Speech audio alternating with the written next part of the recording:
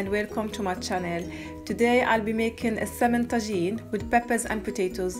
I hope you enjoy watching this video and if you do want to see any other cooking, please comment below and thank you for watching.